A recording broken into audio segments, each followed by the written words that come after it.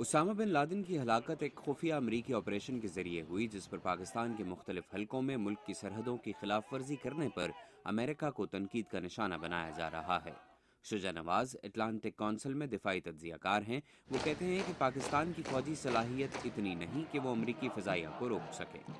اگر ہوتی تو شاید ہم آج یہ بات بھی نہ کر رہے ہوتے کیونکہ یہ تو کافی کامیاب ریڈ تھی پاکستان کے اوپر۔ اور بظاہراً تو یہی پتہ چلتا ہے کہ امریکن ٹیکنالوجی جو ہے، اس نے پاکستان کی دفاعی قوت کو مات کیا۔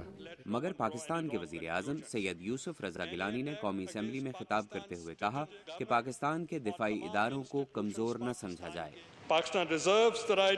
پاکستان مکمل طاقت کے ساتھ جواب دینے کا حق رکھتا ہے اور اپنے ملک کے دفاع کے لیے ہماری قوم اور مسلح افواج کی صلاحیت پر کسی کو بھی شک نہیں ہونا چاہیے۔ شجا نواز کہتے ہیں کہ پاکستانیوں کو امریکہ کے ساتھ اپنے تعلقات کی نوعیت کا فیصلہ خود کرنا ہے۔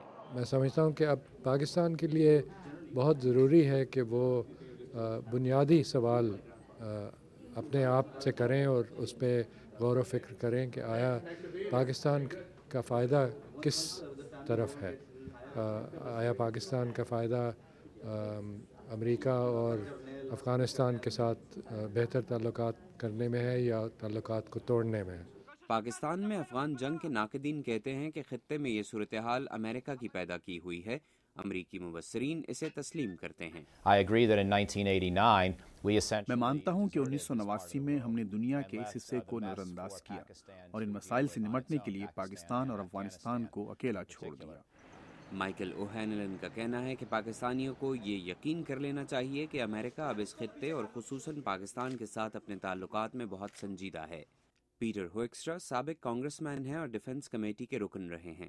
وہ کہتے ہیں کہ ایبٹ آباد کا واقعہ دونوں ممالک کے لیے تعلقات پر نظر ثانی کرنے کا موقع ہے۔ میرا خیال ہے کہ یہ بہت ضروری ہے کہ ہم پاکستان کے ساتھ اپنے تعلقات کو قائم رکھیں اور انہیں مزید مضبوط بنائیں۔ یہ کئی سال تک ایک الجھا ہوا اور مشکل تعلق رہا ہے۔ مجھے امید ہے کہ امریکہ اور پاکستان دونوں اس موقع کو استعمال کرتے ہوئے یہ دیکھیں کہ ہم اپنے تعلقات کو کس طرح مضبوط کر سکتے ہیں۔ پیٹر ہوکسٹرا کے مطابق افغانستان اور دہشت گردی امریکہ اور پاکستان کا مشترکہ چیلنج ہے اور اس کے لیے تعاون جاری رہنا چاہیے۔ میرا خیال ہے کہ یہ ایک جاری رہنے والی کوشش ہے۔ اسامہ کی ہلاکت صرف ایک کامیابی ہے مگر اور بہت کچھ کرنے کی ضرورت ہے۔ اس لیے امریکہ پاکستان اور دیگر اتحادیوں کو اپنے تعلقات کو مضبوط کرنا ہے تاکہ یہ یقین ہو سکے کہ ہم اس خطرے کو ختم کرنے کے لیے ایک مشترکہ حکمت عملی کے تحت کام کر رہے ہیں۔ اسامہ بن لادن کے پاکستان میں ہلاک ہونے کے بعد گزشتہ ہفتے امریکی کانگریس کے رکن ٹیڈ پو نے کانگریس میں پاکستان کی امداد روکنے کے لیے ایک بل پیش کیا ہے۔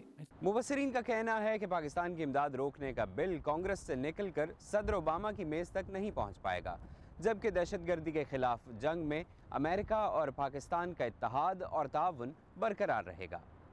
Muhammad Atif, Urdu V O A, Washington.